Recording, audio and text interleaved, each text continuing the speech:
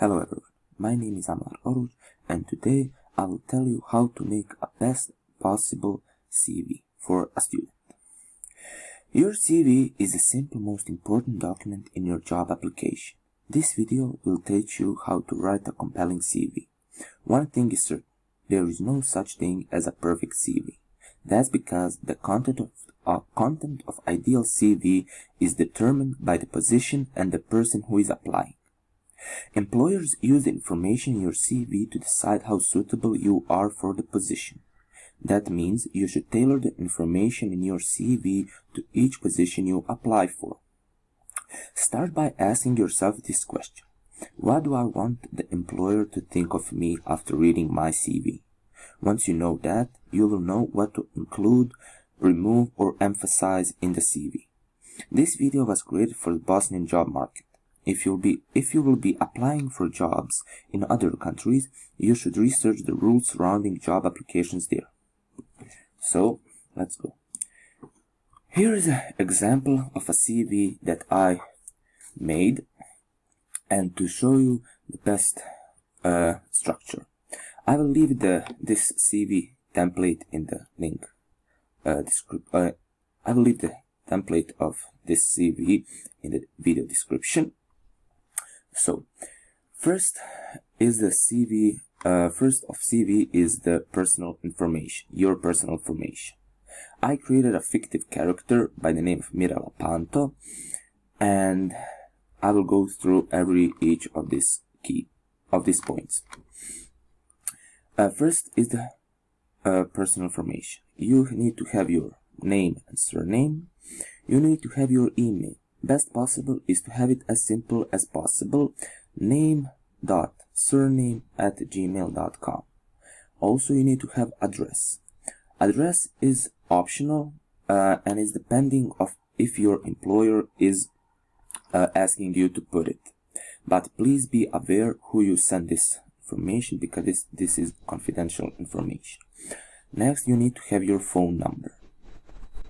Next, you need to have your LinkedIn profile, profile and it also needs to be simple name slash dot surname. Next point is profile. In this section, you need to write something about yourself, something uh, that you, uh, some few sentences that, that are telling your employer uh, that he, something he needs to know about you. Uh, which, what are you studying, at which university, some of your experience, skills, uh, some of your uh, languages, something that is, that you find important to tell.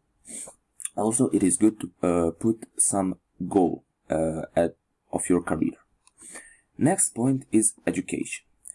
Uh, I think this is the most crucial point of a CV because here you show your employer what have you done uh, in this segment of your life. Uh, it is best to write from your high school to your present education. For example, you're studying at university. Uh, in here we can see economics, uh, common department of management.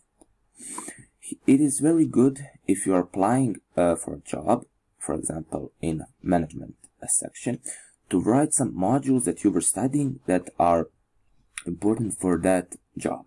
For example, here is accounting, microeconomics, introduction to business, and statistics.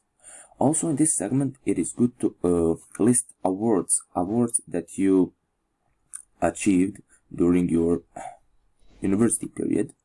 Also, uh, it is good to put the grades beside your uh, subject name because some employers are wanting to know uh, to know your grades. Next thing is volunteering. Volunteering is uh, also very crucial, such as uh, also as uh, work experience. But uh, but at this example, Mirela has no work experience, but she was doing volunteering at a Save the Dogs charity. Uh, in this example, you need to provide exact details of your responsibilities, include which skills you have acquired, and include which results you have achieved. uh, you can list all of your volunteering because if you have no work experience, this is your main thing. You need to tell here everything that you have done, every little thing that is crucial and worthy of mentioning. Next thing is achievements. Achievements is everything that you have achieved in your uh, life. Some awards, uh, if you had some position of responsibility, uh, everything that you find important, you need to put it in achievements. Everything that you achieved during your life, put it here. Next point is additional skills. Here you need to put everything that you know how to do, everything that you're capable of doing. For example, if you know languages, put some languages uh, and it is good to put the level at, of of that loud of that, of that language uh, how do you speak? For example if you speak german and you have a b2 certificate you need to put it because it is good to have some certificate or diploma to back that information up. Next thing is for example if you know microsoft office it is good to put it in segment of additional skills because some employers are looking for people with Microsoft Office skills. Or you can just say I'm proficient in video making, taking pictures, uh, painting, uh, anything that you are good at, put it here. And the last but not least important thing is hobbies and interests.